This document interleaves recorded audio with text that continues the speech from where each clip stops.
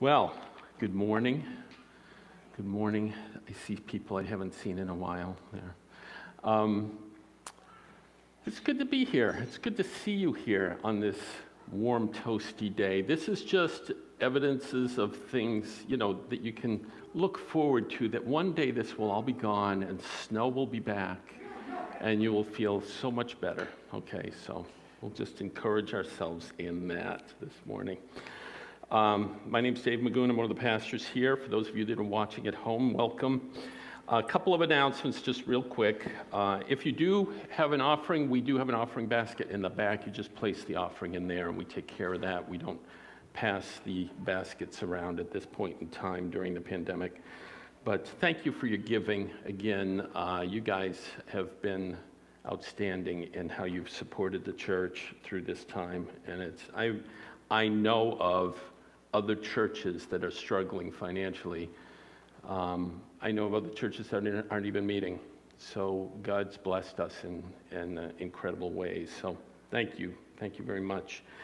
Um, for a couple of other announcements, real quick. Um, on the 9th, we are going to be having a baptism here. The baptism is going to be after the service. That's August 9th. And it will, it'll be 1130 when it happens. So, what we're going to do is invite the whole church, and the person that's being baptized is going to be inviting friends and family. So, it's possible that some people may need to sit downstairs, but we cannot see why we can't uh, work that out so that we can arrange it so that we have the social distancing so as many people can come to a baptism as possible. That's a, just a celebratory time. So, that's uh, August 9th. So, keep that in mind and that will take place after the service. If you want to stay at home and watch the service and then come afterwards, you could do that as well. Um, we're also looking into streaming the baptism service too. Uh, for those of you that received your children's ministry email and you responded to it, uh, Bauer, Ted, and Aaron would like to thank you for your response. And if you have not responded to your email, they are coming to get you. So keep that in mind uh, so you can respond to that quickly. But thank you. Thank you for those that responded. okay. I used up all my saliva. I need a drink.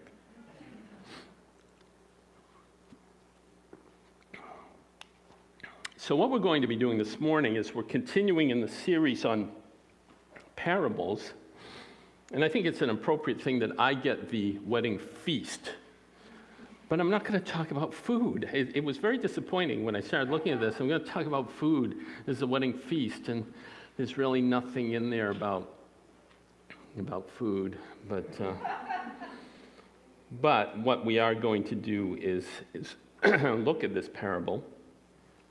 It's one of those parables where um, Jesus uses parables in a lot of different ways, but this is one of those parables where he likes to step on toes. So I could line you all up and just step on your toes and we can all go home, or you can listen to what I have to say. So, one or the other, if you'd like your toes stepped on, let me know. Um, it is good to have our toes stepped on at times. So, what I'm going to do first is pray. And then, instead of reading the whole passage, I'm going to read it in sections under each point. So that's how we'll divide it up today. And we'll see where we go from that. So let's pray. So, Father, thank you for the opportunity, the privilege, the blessing it is to look at your word. And we ask, Lord, that as we look at your word this morning, that it would come alive to us. Spirit of God, make it alive to us. It's a living and active word. And we pray, Lord, that you would speak to our hearts. Lord, that you would help me to be true to your word. And um, Lord, that fruit comes from it. So we thank you, Lord. In Jesus' name, amen. Uh, I'd like to, right off the bat, read, read my main point. Uh, the main point whether we get to this or not, the main point of this message is humility and compassion are characteristics of a follower of Jesus and calls us to evaluate our hearts. Humility and compassion are characteristics of a follower of Jesus and calls us to evaluate our heart. Okay? So, we're again, we're, this is a, a series that we're doing on the parables of the kingdom. Parables are lessons that bring kingdom truths into our lives. This is the purpose. This is why Jesus is telling us these things. It brings spiritual depth to us, to a people. We're not prone to those things, we're not prone to spiritual depth. We, our tendency is to just kind of skirt around them, and Jesus brings our attention to them. So we need these kingdom foundations in our lives, and Jesus taught many of them through parables and it, they help us to measure ourselves. And that's what we're going to do today. We're going to measure ourselves, we're going to evaluate ourselves, we're going to look at our hearts as we look at His Word this morning. So, the first point, and I'll get right into it, I've made my points questions. So, these, the first question I have today is Are you a watcher as well as a doer? Are you a watcher as well as a doer. And I want to read verses 1 through 6 to start us off. Starting at verse 1, Luke chapter 14. One Sabbath, when he went to dine at the house of a ruler of the Pharisees, they were watching him carefully. And behold, there was a man before him who had dropsy. And Jesus responded to the lawyers and the Pharisees, saying, Is it lawful to heal on the Sabbath or not? But they remained silent. Then he took him, he healed him, and he sent him away. And he said to them, Which of you, having a son or an ox that has fallen into a well on a Sabbath day, will not immediately pull him out? And they could not reply to these things. So it was a Sabbath day, and Jesus was invited. There were preparations for the Sabbath dinner. That's usually what happened. Everything was prepared beforehand, and everybody would meet after the services and they would gather together. They came to listen, they came to worship, they came to learn, they came to celebrate the Sabbath together. And Jesus was invited to this. It doesn't say that the ruler invited him, it's the ruler, of the Pharisees that had the dinner. It doesn't say that he invited Jesus, but Jesus was invited to this dinner by somebody. And there was a lot of watching going on. Okay, as soon as Jesus comes into a room, people watch. If Jesus came into the room this morning, wouldn't we all watch him? Wouldn't we all just start to look at him? And that's what they would do. They would, they would watch him. They were watching Jesus. They were watching to judge him. They were watching to criticize him. They were watching to catch him doing something that he shouldn't be doing so that they could charge him with something. But you have to remember when Jesus comes into a room, he's also watching. And Jesus was starting to watch, and he was assessing the people's need. He was seeing what was going on, he was finding opportunities to teach them. This is what Jesus did. And so while there, and while they were there, it says, Behold, you know, so I don't know if this was a setup for Jesus or something happened, but behold, there was a man there with dropsy. Now, this isn't somebody that drops things, okay? That's not the condition of dropsy. If you look at the Greek word that dropsy, uh, how it's translated dropsy, it means pooling, or in other words, the person was, um, fluid was gathering in his body. It's possible that he had uh, some sort of heart condition, and basically he was swelling. And it's a serious condition. It's a, uh, something to be concerned. It could be congestive heart failure. Um, so it's life threatening, and Jesus sees him there, and Jesus isn't the type to just, you know, if something beholds him right then and there, he's not the type just to, to let things go. So he says, while he's standing there, Is it lawful to heal on the Sabbath or not? And the Pharisees remain silent. Nobody says anything, they just remain silent. So Jesus heals him. So it's a big deal. Jesus healed this person. Now, I like to think of, about it when, uh, when Jesus healed somebody, there was, there was something happened. When Jesus healed the deaf, what happened? They were able to hear. Okay? When Jesus healed the blind person, what happened? They were able to see. Okay? When Jesus raised somebody from the dead, what happened? they came to life. I mean, these are drastic things that happen. So when he heals a swollen man, what happened? He must have shrunk. I'm, I'm, that's the only way I can see it. So I see it. That's the, the first time I ever said, what happened after the guy that was swollen was healed by Jesus? He came in swollen, he left probably 20, 30 pounds lighter. I don't know. But, but then he asks another question. He makes these observations. He's saying, Jesus is saying, these, these people don't seem to have much compassion. So he asks another question Which of you having a son, in other versions it says donkey, uh, the, the uh, it's translated son, and that's why we have it in here as son, but sometimes it's used as a, as a young donkey, the same word, because I suppose kids can act like donkeys sometimes. Which of you, having a son or an ox, has fallen into a well on a Sabbath day? Will not immediately pull them out. Again, they don't reply, they don't say anything. You know, there's a rabbinic teaching that says, you know, even though the Old Testament is very specific about obeying the laws of the land, this rabbinic teaching that says that human life, and it talks about it in the beginning of Genesis, human life is more important.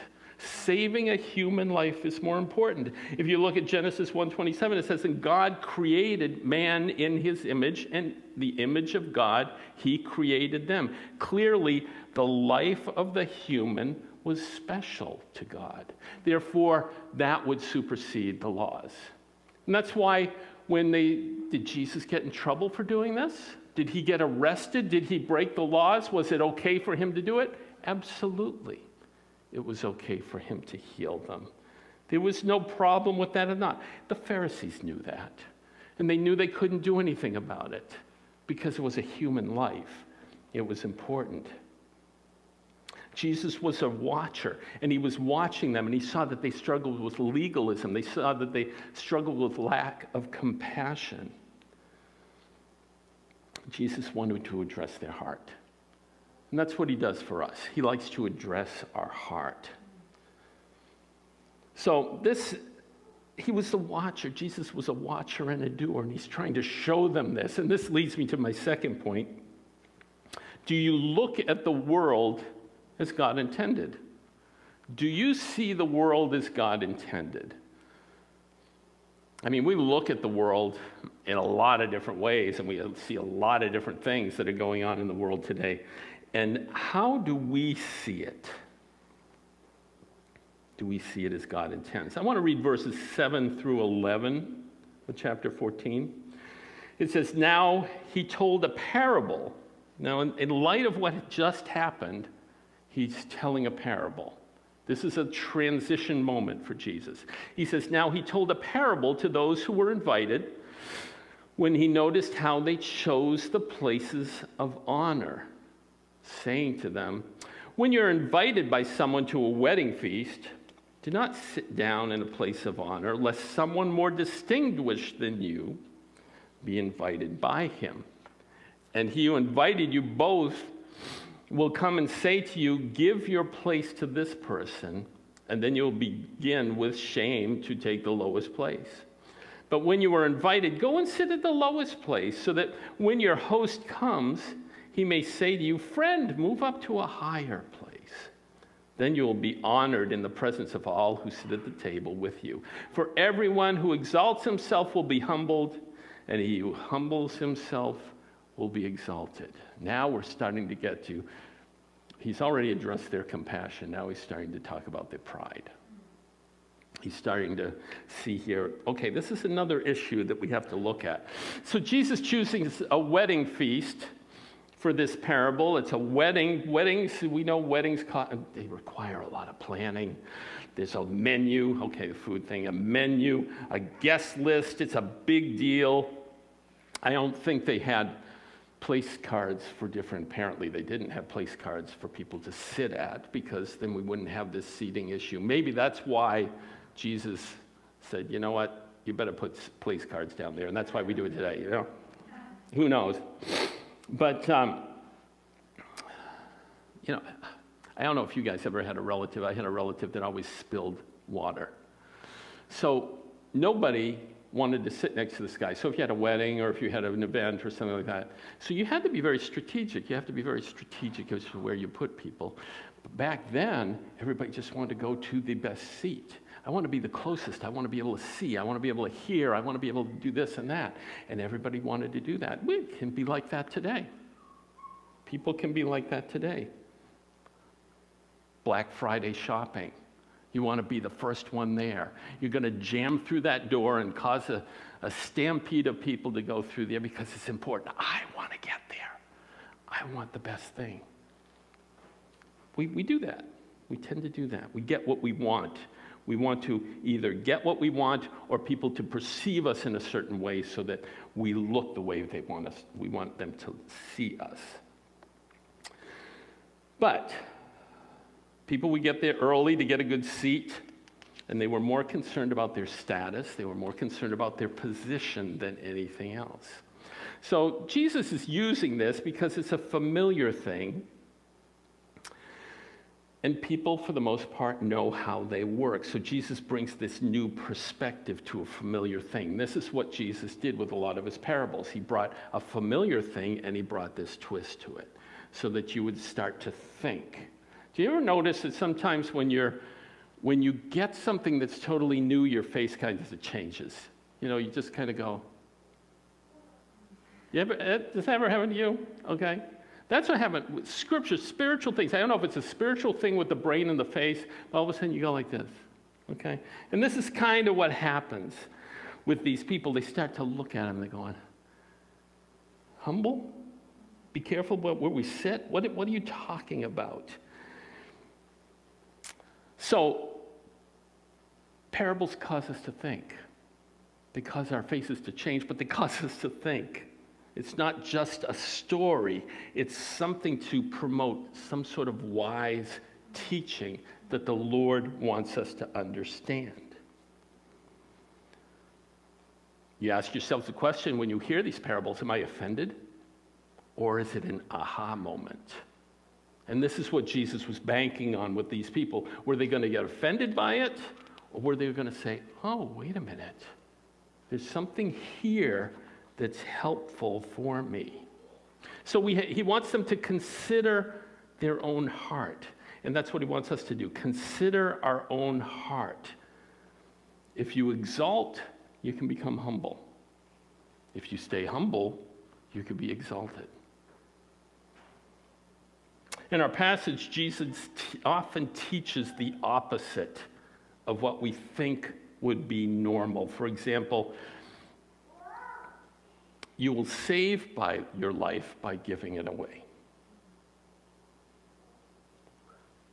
You will save your life by giving it away. The greatest among you should be the servant. You see, you see what, what he does here? And he shows these things to us to cause us to think people, he says, people shouldn't be running for the best seat because if you are exalting yourself, you will be humbled. It causes them to wonder, it causes them to ponder, it causes them to think about it, to take the lowest seat. A few years ago, Abby was able to, uh, was offered some tickets to a Rhode Island Philharmonic uh, concert. And they were really nice seats. These seats were like the primo seats. And Abby was offered them, and she said, You know what? I'm going to ask my parents if they want to go, and then I'll buy a ticket at the nosebleed section, and then she'll sit up there, and then we'll meet up afterwards. So she gave us these seats. Now, these seats were like mucho bucks seats. And these seats, uh, actually, they were season tickets of someone that was very important within the Philharmonic.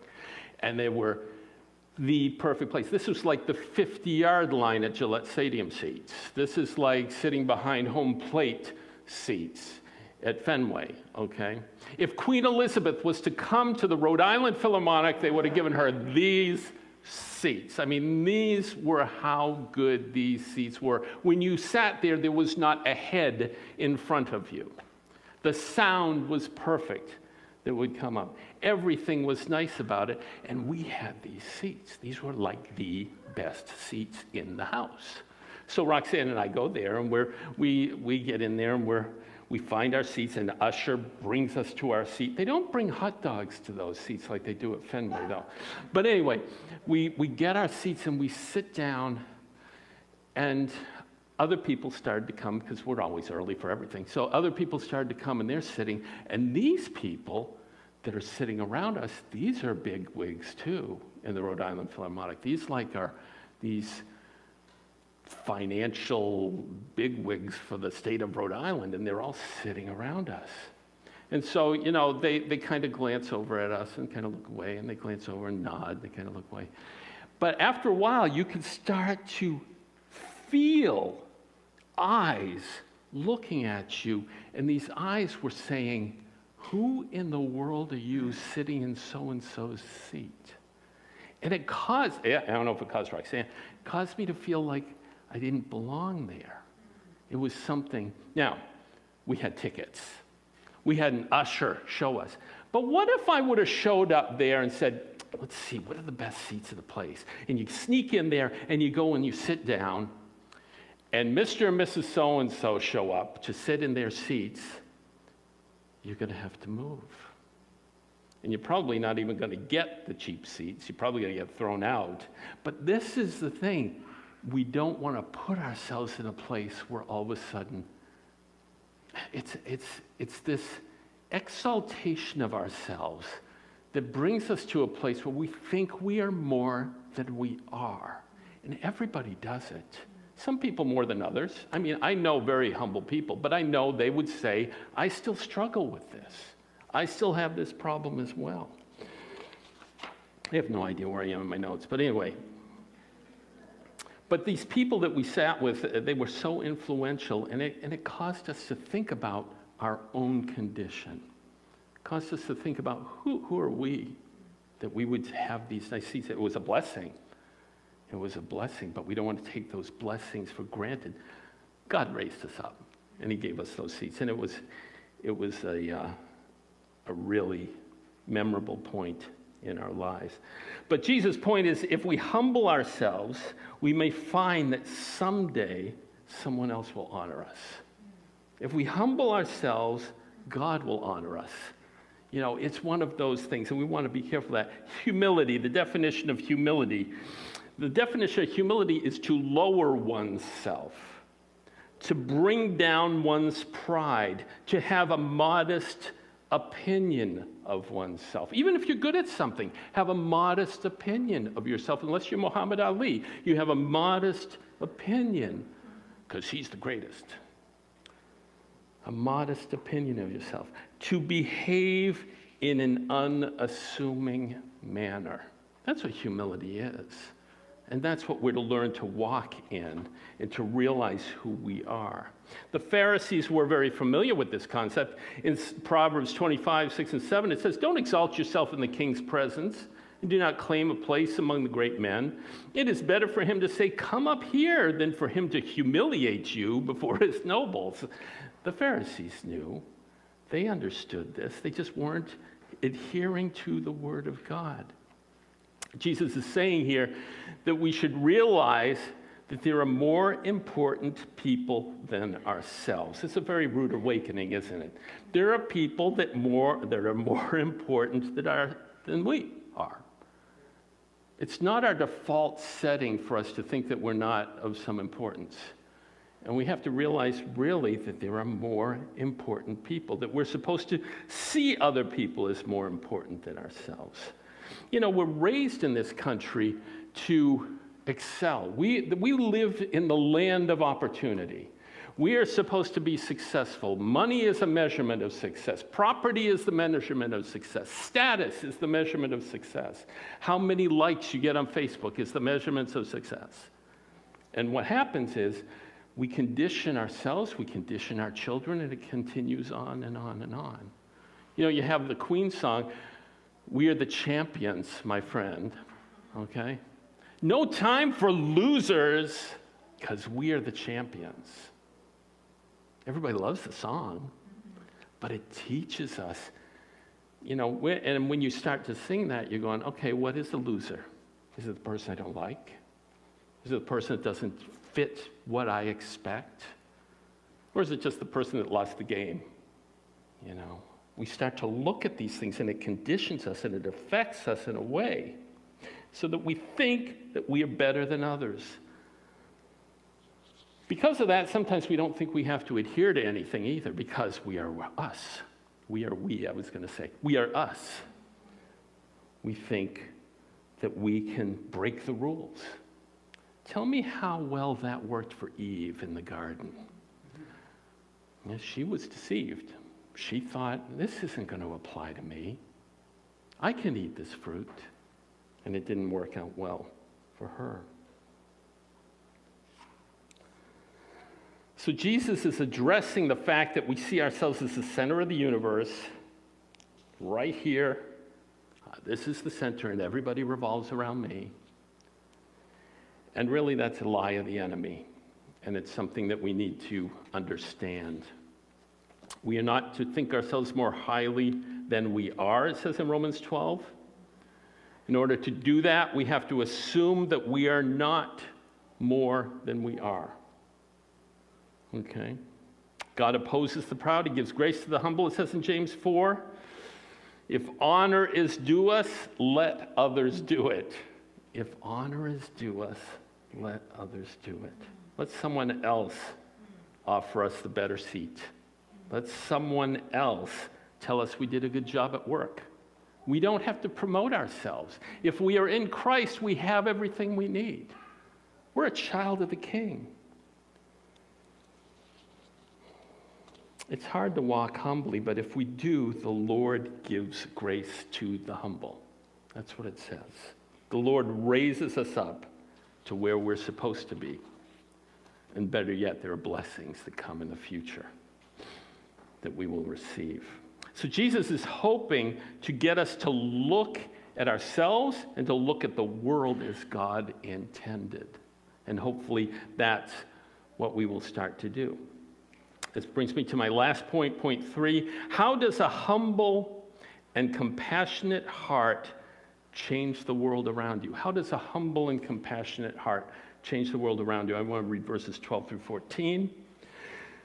He said also to the man who had invited him, this is the man who had invited Jesus. It wasn't necessarily the ruler of the Pharisees, but the man who had invited Jesus. And I don't know whether he pulled him aside or not to talk to him, or if he was just telling everybody could hear him, but he said to the man who invited him, When you give a dinner or a banquet, do not invite your friends or your brothers or your relatives or rich neighbors, lest they also invite you in return and you be repaid.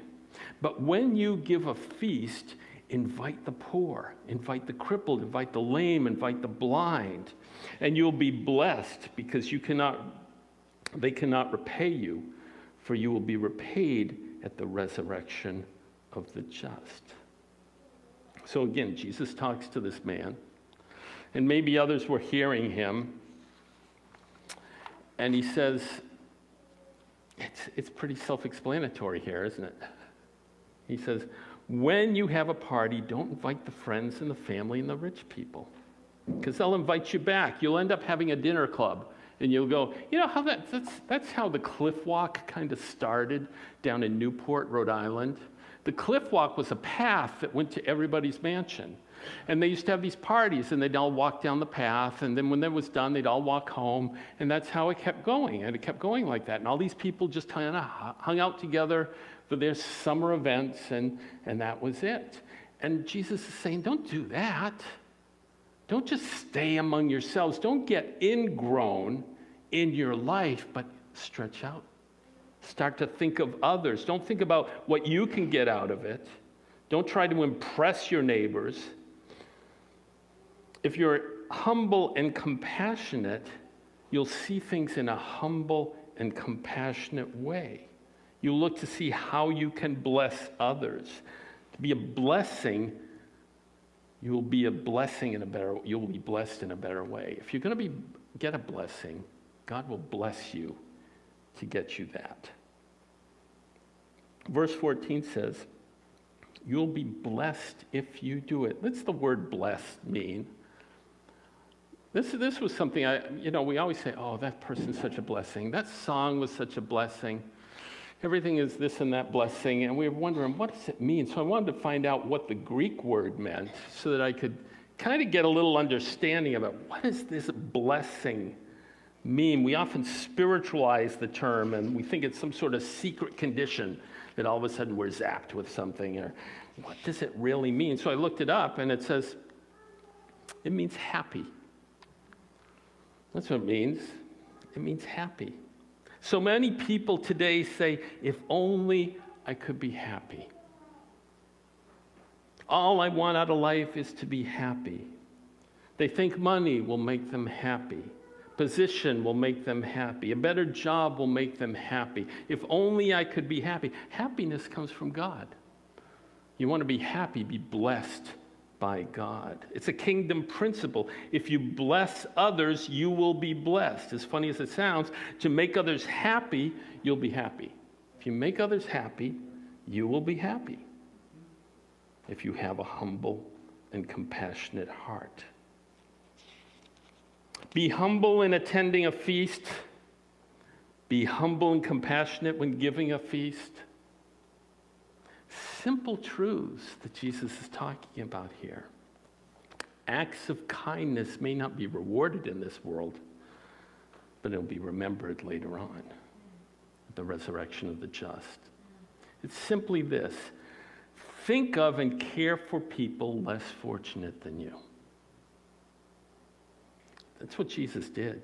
Think of people and care for people less fortunate for you. Do this for people that can't pay you back.